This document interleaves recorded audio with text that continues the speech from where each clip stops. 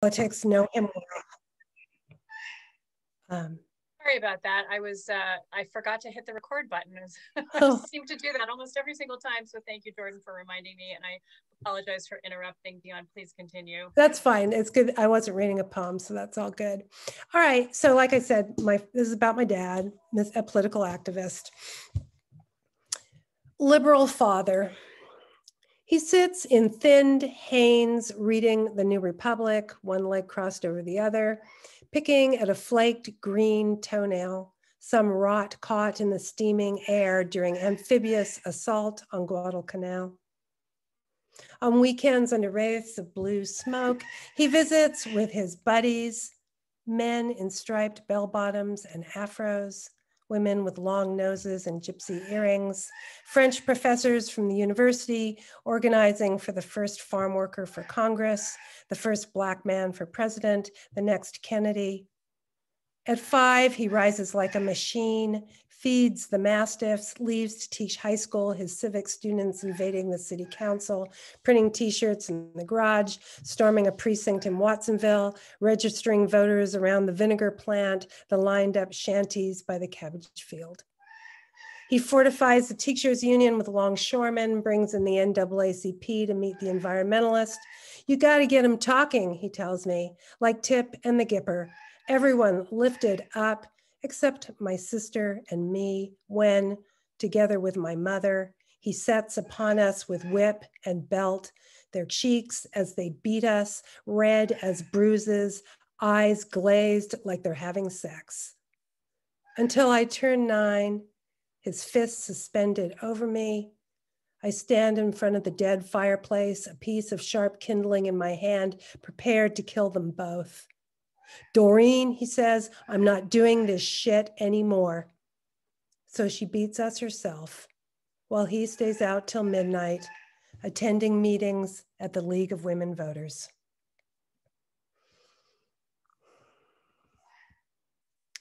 There's another one about my father. Um, that first one, those first two that I read, um, if this is recorded, you only heard the second one. Um, those are both from Ghost Dogs. This one will probably be in my next book, which is coming out in two years from Cornerstone Press.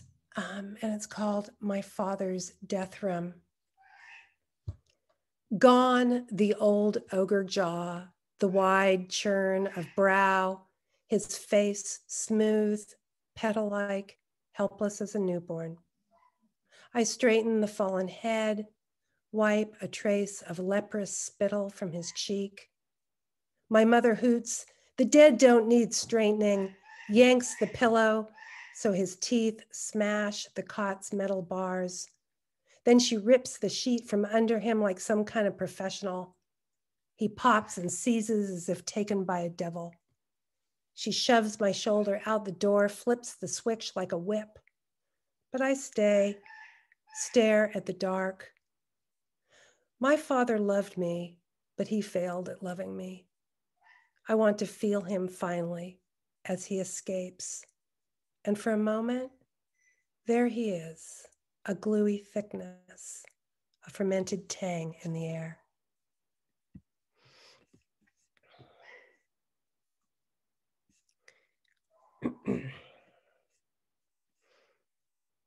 Let's see. All right, I'm going to read one more intense one, then we'll get then we'll lighten up a, we'll lighten up a bit. Um, when I was, um, this one's going to be in Sadness of the Apex Predator, my next book. Um, when I was 19, I was in a house fire and um, I burned most of my skin off. And there were some interesting, beyond just like the intensity of being burned, there was just some interesting events that came up that were related to being burned. And, and this is one of them um, with my sister. Big sister, let's say she kept her promise, lifted me from the tub. Let's say she watched Bonanza and waited as I scrubbed my sores, ran a flannel over my wasted thighs. The warts and moles, blemishes, and fat flamed away by fire. Let's pretend she said, I'm sorry when she dropped me, slammed my head on the porcelain ridge, a deep ring beginning in my ears. I would have understood. It's difficult, even for a grown woman, to carry a wet, burned girl.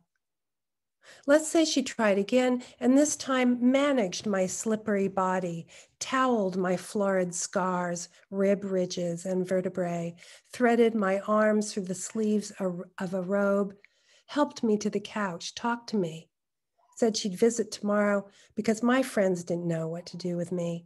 I couldn't take my skin to the beach, couldn't feel my life beginning. Let's say as I lay in the tub, dazed, she didn't scream, Look at you, I can't stand it. Didn't slam the door, leave me there alone. Floored up the driveway in her beat up rambler. Let's say she wanted to lift me up, but no one taught her how. Let's say that.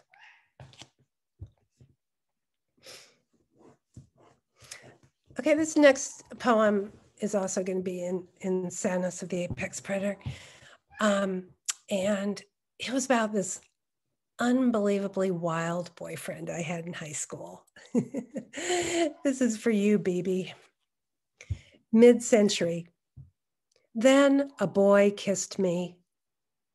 I loved how he'd leap a fence, disappear, then drop from a tree with stolen art, blues LPs I'd never heard of, Percy Mayfield, Johnny Otis a sound that proved suffering stayed after suffering ended.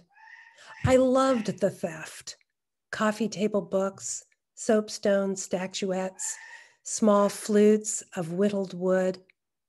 I loved the way he wouldn't change and the way I did because of what he gave me. Yes, I loved his skin when it vanished into greenery, returned with the smell of acacia and salt. I loved how he trembled like a small box of music. Open your hand, he'd say. I have a gift.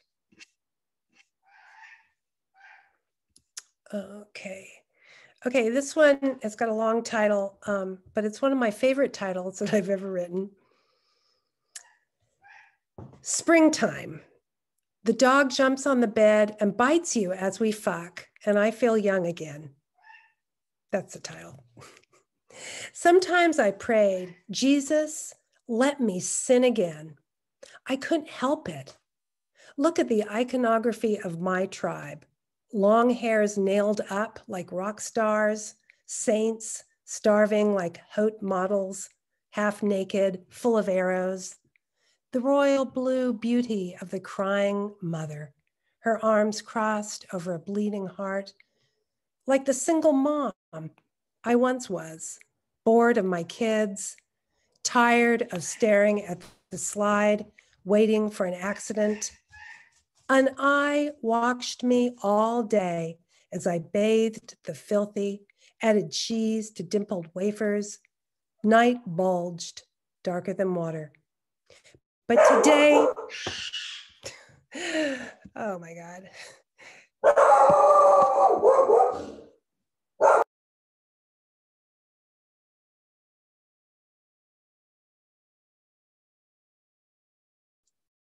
Okay, we're gonna give Dion a minute to control her her menagerie over there. Thank you for bearing with us. Um, this is moments like this that I uh, I don't miss my dogs, who also used to be unruly. All right, welcome back, Dion. I just okay. I'm just gonna see. Uh, uh, uh. Let's see. Okay, here. But today the house is quiet. Just you and the meddlesome dog whining like an archangel. Kick her off, lock her out. She can pester the door. Babe, let's start over. I'll pull you in, my old body dry as a copperhead. Let's fight with pitted eyes and razor spurs, then sleep into each other until we're grafted apple trees, the softness of our petals becoming wind. Okay, I just got one short one left. Um, let me just do this last one, then we're through. We'll see if the dog and the bird will let me get through this. How to dress wounds. Insist on entering cathedrals, the window colors sliding through flesh. Feel them clockless, the centuries laboring toward God filling you like breath. Remember what happens, happens slowly. Listen to something small as a butterfly shivering the back of your skull. Look at your unmanageable body as the plant sees the sun. Complete devotion. Day after day, drag yourself to the same altar, drink and eat as best you can. Forgive the imperfections on the skin of fruits, the unblessed meat. Awaken to light moving through curtains. Sleep the way horses canter through dark trees, riderless until they forget their horses. Okay, I'm just going to try to take my own advice on that one. Thank you. Thank you so much. Thank you so much, Dion. That was just wonderful. What a powerful series of poems. I hope everybody runs out and buys your book immediately. ghost dogs. yeah, ghost dogs. All right. Oh, where'd you go? Sorry. Okay. So next up, we have Jordan Franklin. I'm very excited to introduce her. Um, Jordan is a poet from Brooklyn, New York. She earned her MFA from Stony Brook, Stony Brook, Southampton. Her work has appeared in the Southampton Review, Breadcrumbs, Easy Paradise, Tinderbox Poetry Journal, Frontier, and elsewhere. She's the winner of the 2017 James Hearst Poetry Prize and the 2020 Gatewood Prize, as well as being a finalist for the 2019 Furious Flower Poetry Prize. Her first poetry collection, When the Signals Come Home, was published by Switchback Books in March of 2021. Her first poetry chapbook, Boys in the Electric Age, was published by Tolsun Books in August of 2021. So let's see, Jordan, I'm going to unmute you. And uh, I'm excited to hear your poems. Thank you.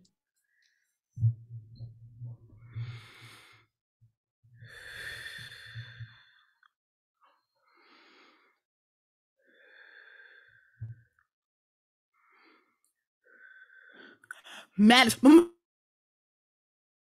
Madison, radio, radio, radio. Stop.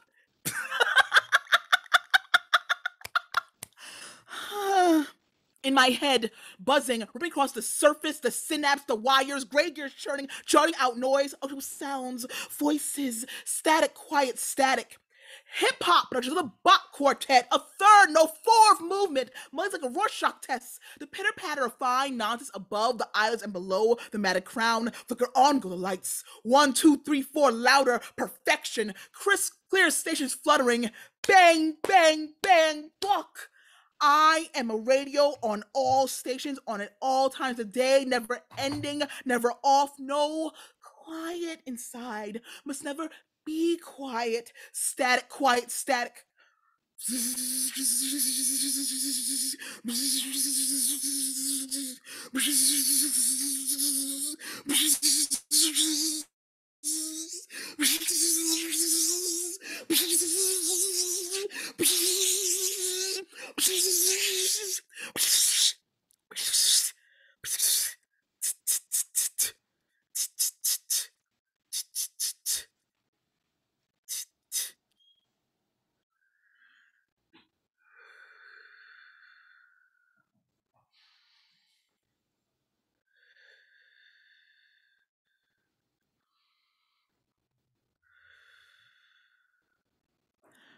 Silence. Batteries expired. So, hi. Um, yep. My name is Jordan E. Franklin. Um, thank you for having me here. Um, it means a lot. And also, I want to give a big shout out to Dion. I really loved your poems, you know, and also, I'm glad you start off with the dad poems. I got dad poems too. So, and also, I want to give a big shout out to Nicole and the Kearns clan, as well as um Rebecca Woolman. Hey, so um first things first, I'm gonna read from my poetry collection. Um, when the signals come home, I'm gonna do two poems from the chapbook, Boys in Electric Age, and go right back to this collection. So, like I said, this whole collection's about my ill father. My dad was my dad had diabetes and he had a fall, and as a result of it, he became um a paraplegic. So, um, this next poem is called Inheritance.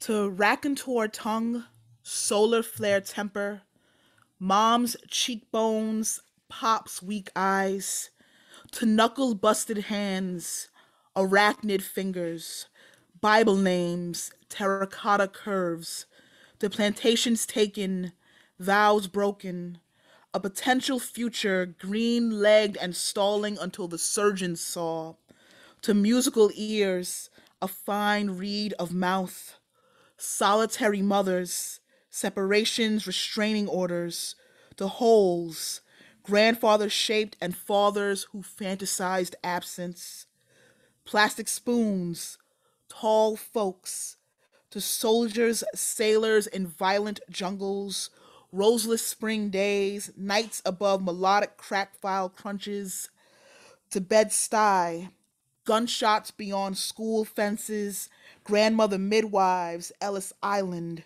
to Atlantic graveyard, blackened sea floor, bad hearts, troubled brains, to titles, never ending christenings, mistakes both breathing and not, to accepting blame, love under gaslight, child shaped collateral, juvenile bullseye, to never ending right, a daughter, a poem.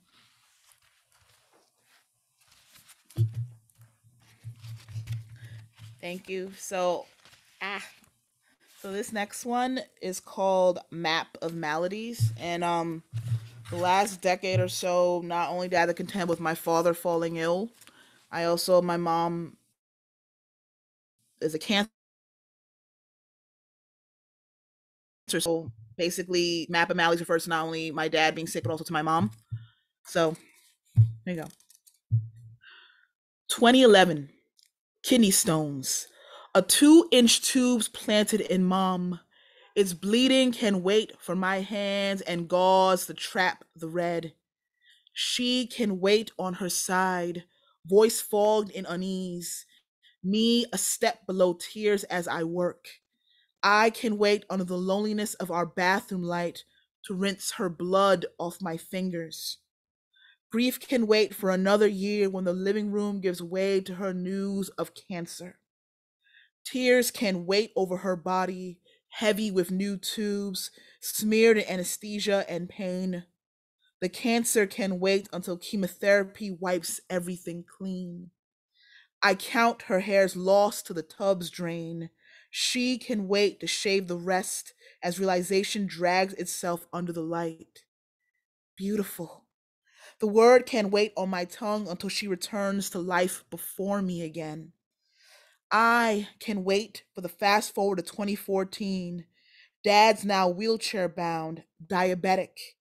We can wait for his bed sores, surgeries, hospitals circulating him between them like clots in his blood. He can wait until 2015 for the hopelessness, for his J, baby, let me go. Heaven is a broken vein and it can't wait.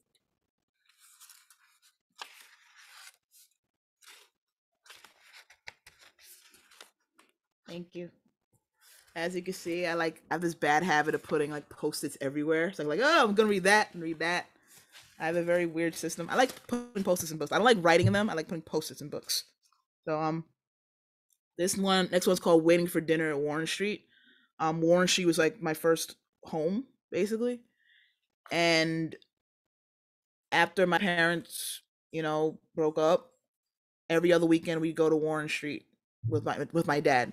So, waiting for dinner at Warren Street. Dad's in the kitchen singing into a spoon's head. In a boombox are the Mary Jane girls stacked above the stove's heat. Brooklyn outside the window in a night that redacts the sun. The bridge, green lit and dressed to the nines in stars, straddles the horizon. There are many pictures like this in my head of a man in his warm man and his music held in the warm orange eye of our brownstone. Dad sings over dinner plates his triumphant cry as the station switches to slave, then prince. This is the dad I'm not sure I've ever had. These pictures, their frames cracked like a radio that can still serenade me once a day. All right. Um, like I said, I'm gonna transition to my chapbook for a bit and go back to the collection. And um, for those of you don't know, I started out as a slam poet when I was a teenager, and then like I shifted. I still do performance poetry every now and then, but like I mostly prefer. I don't know. It's it's I can't describe it. I started as a slam poet. I still perform here and there, and a lot of times when I do readings, I like to transition from both poems for the page and poems for the stage. So this next one is in my chapbook, Boys in Electric Age, and it's called Multiverse of Madness in Technicolor.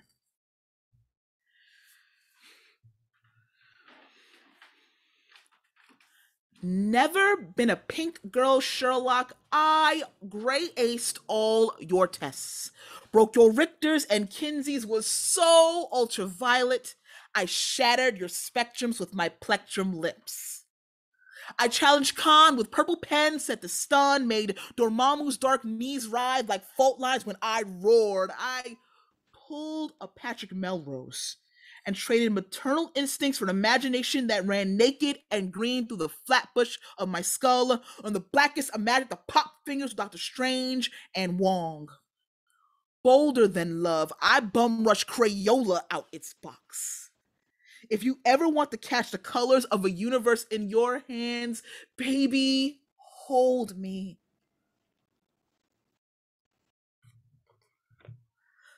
Thank you.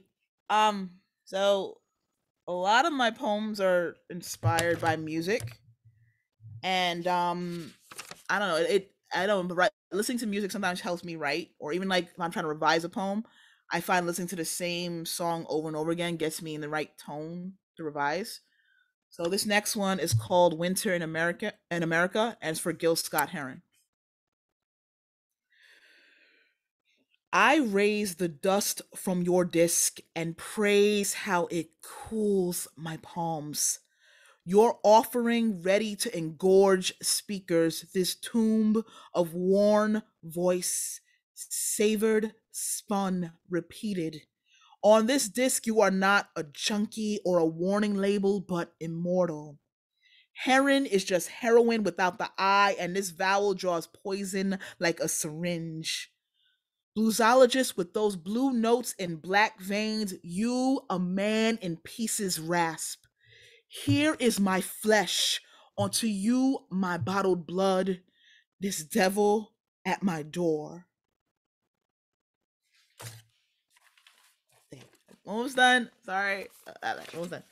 So back to dad poems, depressing poems, and um I'm gonna give you a trigger warning. These next few poems they reference um alcoholism, domestic violence, and child abuse. So um, like I said, I write a lot of poems in response to music, and this next one's in response to like "Swimming Pools Drank" by Kendrick Lamar. So this one's called "Dive." Backstrokes for Carolina, where your old man broke bloodlines with shaking toe. Carolina, where his daddy drowned sense, ruled home with knuckles and gun, who made him practice kissing with a cooling barrel, whom your dad escaped in jungles with army knife and rebel smoke. Gramps, with his whiskied noose, swings in a chromosome. When alcohol lurks in a room, you close your throat, for Gramps is in a cell somewhere, always thirsty.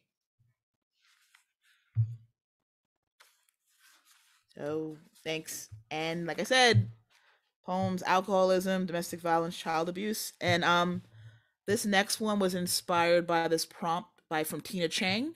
Um, she's our poet laureate of Brooklyn, if y'all don't know her.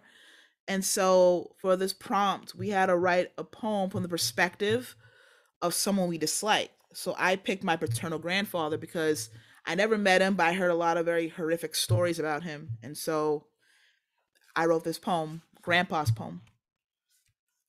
And also, heads up, I use the N word in it, also slurs. I use a slur here and there. And yeah, I don't stand by those slurs. I'm just in the character. Sorry. Grandpa's poem. Baby, I'm cack as they come. Blood hotter than a sunrise or hot sauce on catfish. Been cack since my granddaddy and his folks took back that plantation, knuckle by knuckle. And I tell that story whenever whiskey threatened my lips or I hear that old forehead scar of mine sing his love song for the rock that cracker drove into it. I never wanted to be a father. I prayed and prayed, but your grandma pushed out four boys. I took one look at them little black mugs and knew I had to beat men into them. As for your granny, she was all right. Too much lip, though. A nurse in her suit that ran so white against the blues and yellows, I sang into her bones. and your daddy, big mouth like his mama, big enough to holster my gun into that night, told your granny I was a backdoor man and why this cornsucker of a boy think he could talk like a man. I wish I could say I learned to keep my hands clean as a father, but I've never been one for lying. The bottle made me dance as well as sing. I danced all over my house, worked my hands and feet to every surface I touched. I've always been an entertainer. Could send that one eyed Sammy Davis nigga packing with his rats and get your grandma ups and leaves me. I want to tell you the distance was enough to stop me but whiskey got a kick like a drum. And even when old cancer took my tongue from my mouth, I still sing and sing and sing.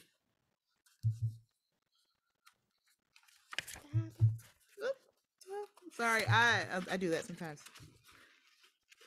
I am socially I I'm sorry, I'm socially awkward up the wazoo. It's funny because like you can't like I love performing poetry and like I'm comfortable doing it, but like the banter is terrible. But this poem, um, so one of my favorite poets of like all time is Jeffrey McDaniel. Like, and so he has this poem called the um the Benjamin Franklin Monogamy. As a poem like I really grew to love through my mom because my mom said one time she never really got into poetry until she read that poem. I was like, oh, this is what poetry can be because like it's so conversational and like you know it using like like different like pop culture references, which I kind of do too. So this poem is called the Nikola Tesla of Compulsion, and it's after Jeffrey McDaniel. And I do swear once or twice in this poem, but yeah. so you can't write poems. Some days dad admits you're his kid to strangers. Some days you believe if you think hard enough about him, he will stride out of an ear and onto his own two feet again. Some days you are the apple of his eye, sweet but defective. Some days you eat raspberries to keep the taste of these words off your tongue. You can't write poems about. Some days you forget his hands don't work. Some days you're almost worth something. Some days you envy your brothers for stepping out of his life. Days his words flit on repeat in your head. I would have been a doctor if it wasn't for you. I tried not to be my father and I failed. You can't write poems about mom. Some days you remember his hugs, the warmth of his hands. Some days you regret becoming a poet. Some days you don't want to waste prayers on him. Some days not to speak of him is to drown your larynx in raspberries. You can't write poems about mom because some days he'll wish you were his son. Some days he'll wish he left. Some days he'll take you to the gardens, other days to the auto shows. Some days you're his favorite and he'll tell you so. Some days he'll say, fuck your brothers. Some days you're used to his threats. You can't write poems about mom because she. Some days he'll ask you for a gun. Some days you realize he was dead long before you entered the world. Some days writing helps. Some days there's a grave between syllables. Some days, if you turn your headphones up enough, you can breathe past the raspberries in your mouth. You can't write poems about mom because she loves. Some days he laughs and the world brightens. Some days he's not dad on the phone. Some days you have to plan a plan where if his hands come for your brothers again. Some days second person isn't confession. You can't write poems about mom because she loves you. Some days you feel like you're the Nikola Tesla of compulsion, as if, if you're designed yourself to coil and convulse every time you dare to write or speak ill of dad. Some days the raspberries are fresh.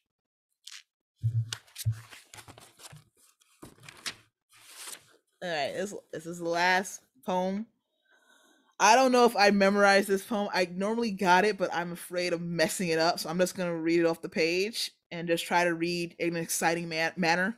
But uh, I want to thank you all for being here. Thank you all for listening. And um, that's about it. I'm sorry. My banter game is terrible. I told you all that. So this poem is inspired by David Bowie. Like honestly, the book is kind of the book's form is kind of inspired by that David Bowie song, "The Man Who Sold the World," in the sense that like a, two sections of the book are in first person, but the last two are like in second person.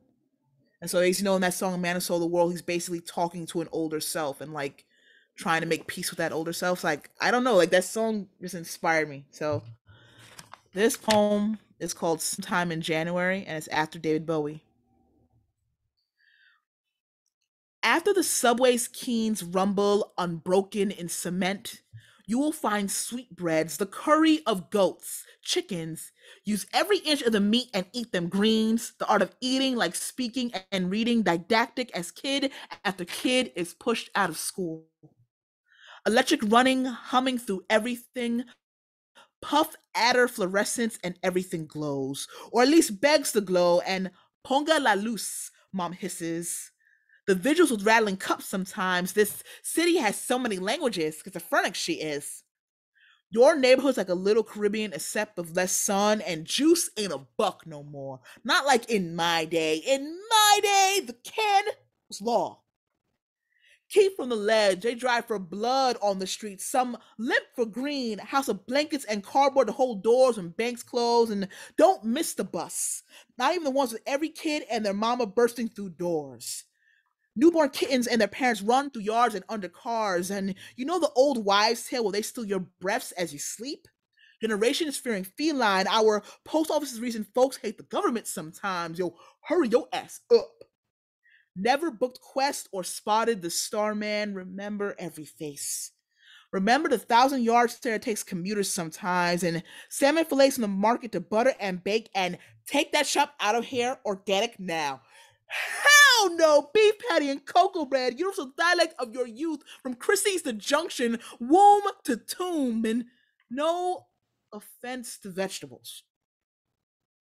You'll respect theirs and they respect yours, and newcomers know nothing of where they now call home. Wait for the condos and to scatter like roaches when the raid like rent hikes, and there'll be nowhere left in Brooklyn, your birthplace, your only home. How much xenon do their phones ejaculate when they take selfies? And who put a Panda Express there?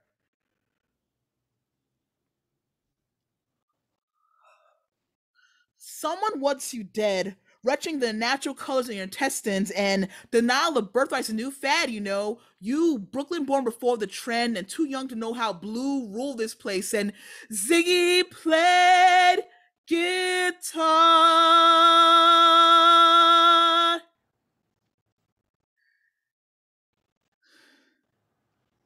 And after you stopped singing in your sleep, you woke to find him gone. Thank you.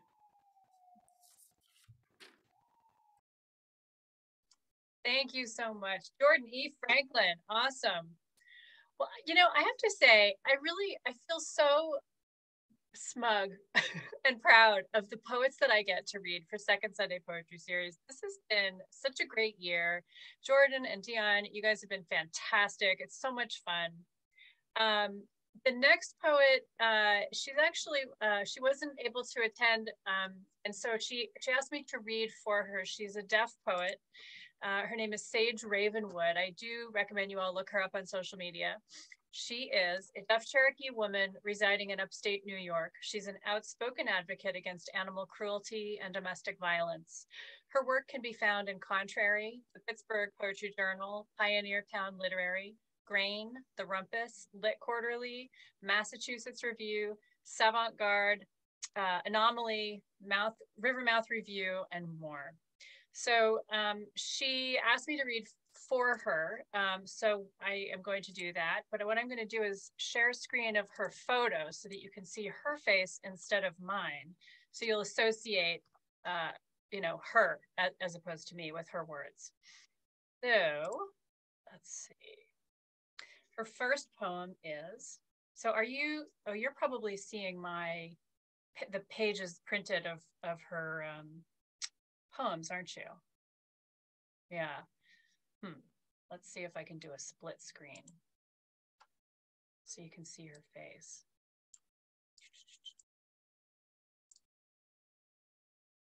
All right, so you can see her, her face now as well as her words. Okay. So the first poem is I apologized to the cucumber vine. Snaking further and further into grass, unfurling limbs from a hose down plot of earth, unentangling itself from its dirt mates and stretching toward yard's end. Fleeing the gardener, me, as if I held the pruning shears solely to hamper its rebellious streak. Sorry to the tendril curling indelicate around my heel with its tender shoots, for stepping on protruding limbs crawling toward the wild beyond. Inhale the cut grass's warning scent, Beware humans weeding radish friends, yanking stems from their mooring by the roots. Hide under a canopy of wide leaves. Sprawl until creepers touch chicken wire. Climb. Trail after sunlight glinting off hexagonal links. Wave to the tomato plants tied to pikes. They're going to turn red soon, blushing angry at harvest time, plucked one by one. Whichever is reddest first string beans hanging around until they snap. Even the potato plants are starting to lean heavy, pregnant with bulging roots. A squash, blooming yellow belly, cowards. I'm sorry is a poor excuse to a sheared cucumber, caught slipping under bent chicken wire. Gently lay the twiglet spread eagle in the grass. A sprig wraps around my finger forgive me. Sage's next poem is called Way Down. And it's way as in how much something weighs, as opposed to the W A Y. Everything leads back to this moment. How a flea infested kitten's fur with specks of dark feces feels like a lupine when it's penned inside an overcrowded rabbit hutch thanks to Mama's unruly fascinating fascination with breeding. Sand chigoes flourishing beneath wired cages, bloodthirst biting my arms and legs while I'm standing outside, while I'm standing beside an outdoor washing machine, pallet hoisted, spin banging couch it clothes. I feel scurrying jumpers on my skin, hanging wet laundry. I'm begging for rain to drown the parasites sleeping between infested sheets, scratched raw, eyes shut tight when a man strips my body bare. Rubbing alcohol to soothe prickled skin, I share the rabbit's misery. We can't escape. Way down the darkness you keep. And I'm kitchen step stool, step stool squatting, a few drops of Dawn dish soap in a bowl of water, flea combing Maine Coon hair, wishing for winter's cold reprieve. Nearby, a bucket, brown, infested memory banks.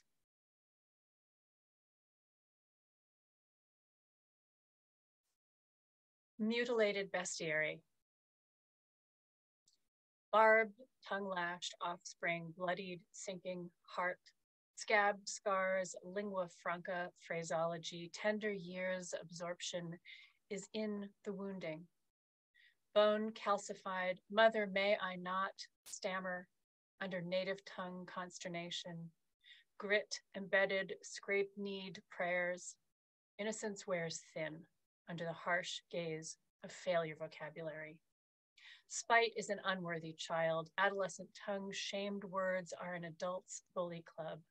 Stunning rabbit quick growth into kindness blanched bewilderment. Ache for a child grown large. Adulthood's muted language is an open wound, licked raw with a forked tongue. A child, sum of scars more in than out, lips stitched like hating, vitriolic. Sticks and stones never left pockmarks.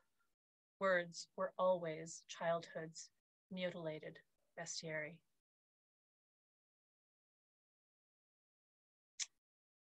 So the next poem is called Wolf in My Bed, and um, she is really quite the poet of, uh, of animals. So they say you bore three sons. read it. Sorry. They say you bore three sons. It's called Wolf in My Bed. Hate, treachery, sorrow. Hati, Sköll, Bjorn Black, as if you fathered human deceit. We place blame, our fallacy, on beast.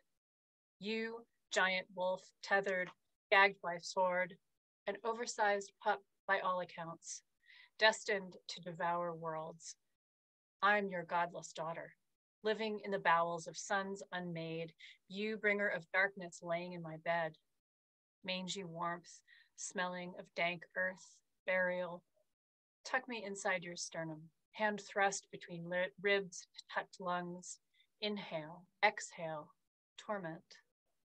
I'll dance a gig on your tongue, nick a vein, bite down, Fenrir. Does revenge taste so sweet we would live out of spite? I am your mad dog, silken ribbon deceived, entangle me in the sound of a cat's step. Woman's beard, roots of a mountain, bear's sinew, fish breath, and bird spittle. They magicked the earth to lay claim. I too wish for darkness. Lay your paw upon my brow, tra- claws trailing down, jugular piercing, five delicate fingers stretching up to touch the blind nails of safe. Sing a guttural lullaby, child abandoned, breath deep, dark of sleep, wolf in my head.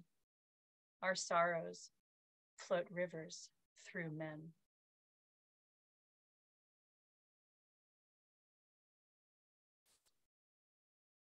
Sage's next poem is called The Weight of Hair. Long, down to my waist, ending at the small of my back, dark as a moonless night, moonlit blue. I hated, loved those strands framing my jaw, curtains shielding half my body, a shawl draped over my shoulders, burying my face, hiding my pain, my too skinny waist and rib cage, hair doesn't weigh much at all. I had so much of it in my food, slammed indoors, ropes my little sisters twined their sticky fingers in, pulling themselves upright. My mother forbade me to cut it. Pentecostal or indigenous reasoning? She blurred the, she blurred the lines so often. When I would braid my hair, a chain traveled the length of my small body, heat soaked, tying me to a place and time I didn't belong. My hair wore an ageist impression, native born, old religion. Samson to a mother who believed a woman's strength was attracting God fearing men. Me and the weight of hair, her God cursed me in so many ways. What more could weigh my shoulders? When saviors are scarce, a child will save itself. 16 is a nexus between woman and child. I part my hair in three sections, laced between fingers, memorized dance. Right over middle, left over right, middle over left, one link at a time until my braid chain hangs tight in my shoulder blades. Tie it off so it doesn't unravel like a life. Pick up the scissors, the base of my neck. I tuck my prison between the blades. Cut through until the weight of a mother's expectations slithers to the floor. I leave my braid for my mother, nailed to the door, nailed to the wall, and walk out the door. So I think the last poem we've got time for is called Chainsaw Vibrato. Uh, this is actually one of the first poems that I saw of Sage's. Um, I think I saw it basically through through Twitter. Um, that's how I find a lot of the poets for Second Sunday. So, Chainsaw Vibrato. Sitting cross legged, sharing a crabapple tree's shade, dew soaks through my jeans. Jade grass caught beneath fingers, waiting for warmth to turn its cloak chartreuse. Morning's unfurled awakening. Grandfather's son is a disco ball dancing between the leaves. I become a leopard of shadows. Daylight knife blades through cloud haze and orange bright eyelids lash fusion. You can't bottle nature's wild. All too soon, a jagged vibrato thrums through the bottom of my feet. The neighborhood chainsaw lover has begun his day. So that is Sage Ravenwood. Um, thank you for letting me share her work with you. Let me see if I can uh, turn off the sharing. Okay. So thank you all so much. I am so happy to see you here on this beautiful Sunday afternoon. Um, Jordan, thank you for joining. Dion, thank you for joining. Thank you all for letting me share these poems with, with all of you. Uh, the next second Sunday Poetry Series date is Sunday, April 10th. I hope to see you all there. And please go out and buy books, buy poetry, buy Jordan E. Franklin's book, buy Dion O'Reilly's books. Have a wonderful uh, rest of March. Thank you very much, all. Take care, and I will see you next week, I hope, or next month. bye bye now. Bye. Thank you. Thank you.